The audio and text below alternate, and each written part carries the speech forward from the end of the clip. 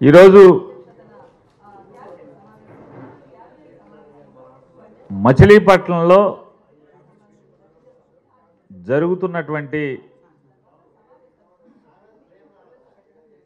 జనసేన రాజకీయ కార్యక్రమం కేవలం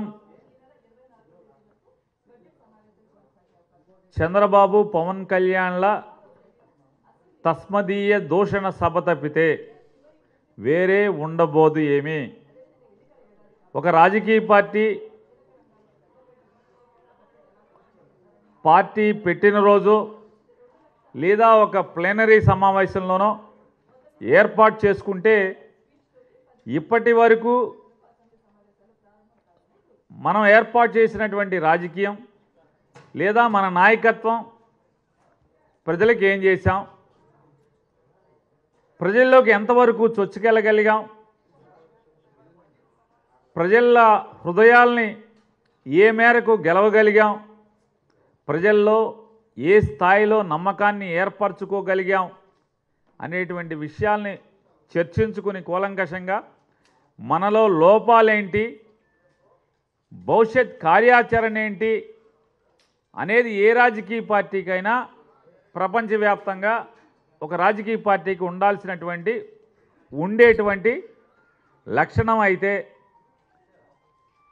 రెండు వేల పద్నాలుగులో తన పార్టీ పెట్టిన రోజే ఆయన నేను పార్టీ రాజకీయాల కోసం అంటే ప్రజల కోసం ప్రజాసేవ కోసం కాదు చంద్రబాబు నాయుడు సేవ కోసం మాత్రమే నేను పార్టీ పెట్టాను. ఎందుకంటే ఒక రాజకీయ పార్టీ పెడితే ఎవరైనా ముందుగా పోటీ చేస్తారు. పోటీ చేయకుండా మా పార్టీ వీళ్ళందరికీ కూడా మా పార్టీని అభిమానించే వాళ్ళందరూ కూడా వీళ్ళకి ఓటేయండి పలానా ఆయనకి చంద్రబాబు ఓటేయండి అని చెప్పడం అనేది ఆయన తన సంకేతాన్ని తన లక్ష్యాన్ని తన రాజకీయ దృక్పథాన్ని ఆయన చెప్పాడు విశదీకరించాడు. ఇవాళ ఎవరికైనా అంటే ఎన్ని మీటింగ్లు పెట్టి కన్ఫ్యూజ్ చేద్దామని ప్రజల్ని ప్రయత్నం చేసిన ఆయన ఏ పరిస్థితిలో కూడా చంద్రబాబు మేలు కోసం మాత్రమే రాజకీయాలు చేస్తాననేది ఏ రోజు ఎప్పుడు ఏ రోజు ఏ సంవత్సరం చూసుకున్నా కూడా మనకు ఆయన చెప్తూ పోతూనే ఉన్నాడు. గడచిన ఇప్పటం సభకి ఈ సభకి ఏ మాత్రం కూడా తేడా ఉండే పరిస్థితి లేదు. వందకి వంద శాతం జగన్మోహన్ రెడ్డి గారిని జగన్మోహన్ రెడ్డి గారిని బలపరిచేటువంటి వ్యక్తుల్ని చంద్రబాబుని విమర్శించేటువంటి వ్యక్తుల్ని పూర్తిగా దూషించటానికి మాత్రం తప్పితే మరొక ఎజెండా లేకుండా జరిగేటువంటి ఈ ఆవిర్భావ సభల్ని మనం చూస్తున్నాం. ఈరోజు కూడా బందర్లో జరగబోయేది అదే తస్మదీయ దూషణ సభే అది. ఆవిర్భావ సభ అనే దానికి అర్థం లేదు. సాయంత్రం మీకు మీ అందరికీ ప్రజలకు కూడా మీ ద్వారా ప్రజలకు కూడా చెప్పేది ఏంటంటే మనం పెద్దగా ఎదురు చూడాల్సిన పని లేదు.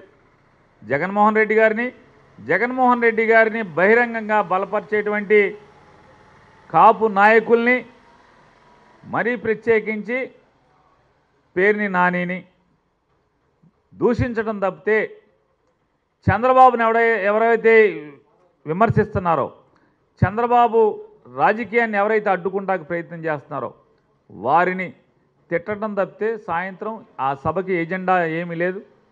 మేము ఒకటే వారికి చెప్తున్నాం. అసలు ఒక రాజకీయ పార్టీ అనేది స్థాపిస్తే ఏంటి ప్రజలకు ఏం చేద్దాం అనుకుంటున్నాం? సొంత కాళ్ళ మీద నిలబడి ఈ సంవత్సరం కాకపోతే వచ్చే సంవత్సరం వచ్చే సంవత్సరం కాకపోతే ఇంకొక సంవత్సరం. లేదా ఈ ఎన్నికలు ఈ ఎన్నికలు కాకపోతే వచ్చే ఎన్నికల్లో మనం సొంతంగానే ప్రజలకి చేరువవ్వాలని ఎవరన్నా ప్రయత్నం చేస్తారు. ఎంతసేపు కాపు కులాన్ని పోగేసి కాపు కులస్థందరినీ కూడా కట్టకట్టి తీసుకెళ్ళి చంద్రబాబుకి తాకట్టు పెట్టి ఊడిగం చేయటం అనేదే ప్రధాన లక్ష్యంగా ఎజెండాగా పనిచేస్తున్నటువంటి ఆయన ఈ భవిష్యత్తులో కూడా మారడని ఎప్పటికప్పుడు మారి సొంతంగా రాజకీయం చేస్తాడేమో తన కోసం తన పార్టీ కోసం తను నమ్ముకున్న వాళ్ళ కోసం రాజకీయాలు చేస్తారేమో అని చెప్పని ఎదురు చూసేవారందరూ కూడా ఇక అతను మారే పరిస్థితి లేదు. పద్నాలుగు అయింది పంతొమ్మిది అయింది ఇరవై నాలుగు మళ్ళీ పొత్తులు చంద్రబాబు కోసమే. ఇరవై తొమ్మిది ఇక ఎప్పటికైనా అదే పరిస్థితిలో ఆయన సహజంగా ఎక్కడైనా సినిమా ఫ్లాప్ అయితే నిర్మాతకి హీరోకి అందరికీ నష్టాలు వస్తాయి కానీ ఈ సినిమాలో మాత్రం ఫ్లాప్ అయినా కూడా లాభాలతో నడిపే నడిచేటువంటి ఏకైక సినిమా కాబట్టి ఆయనకి మంచి లాభసాటిగా ఉన్నటువంటి పరిస్థితులు కనపడుతున్నాయి.